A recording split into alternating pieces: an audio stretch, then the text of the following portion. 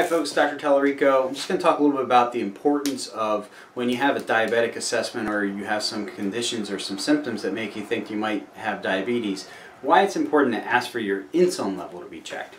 So if we look here, um, this is your blood sugar and here's your range, you know, so on the low end, you know, maybe 80 and high end 120, okay? And so let's just call this a fasting sugar.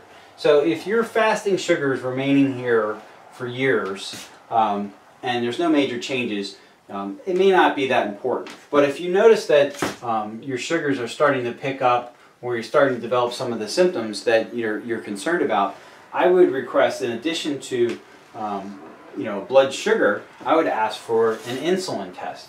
Now the reason I would ask for that is insulin levels may be going up dramatically and still keeping you in this normal range but this is a problem. This is a disease state because you're developing what's called insulin resistance. So insulin levels are way up here and sugar's still here. That's going to look like, if you just get blood sugar, that's going to look like you're okay. But in fact, you're not.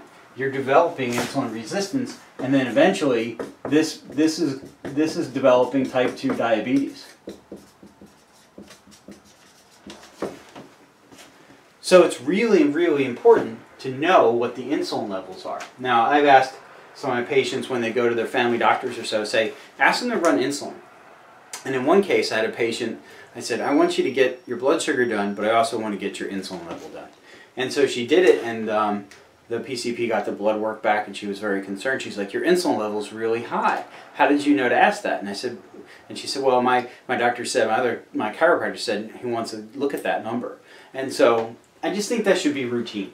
So in the event that we're getting checked out, let's run this test. Now, if you want to run this test on your own, if your family doctor or whoever's maintaining you for your health doesn't want to run it, do it yourself.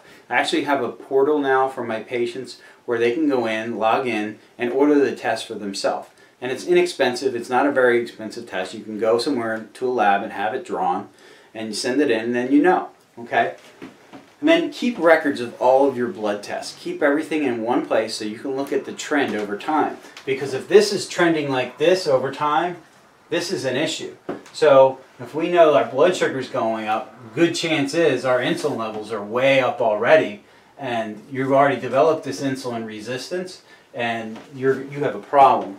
And so we don't want to get to the point where our blood sugars are well outside of the normal range and then they say, hey, you're sick, you have diabetes. So um, let's get it, let's be more proactive. Let's, what are the right tests? Another thing that's really good to know um, is called your CRP. And so this is a good test for everybody, but I really recommend it for people who have diabetes or heart disease. And what this does is this tells you how much inflammation your body is making. So I, I, think they can call it high sensitivity CRP. That'd be another good one to get. Okay. In addition to the standard tests, you know, blood sugar, and you'll get some of these in a metabolic profile, triglycerides, and then A1C. We want to look at these, but we also want to look at this and that. Okay, thank you. And uh, if you have questions or anything, put them in after the video.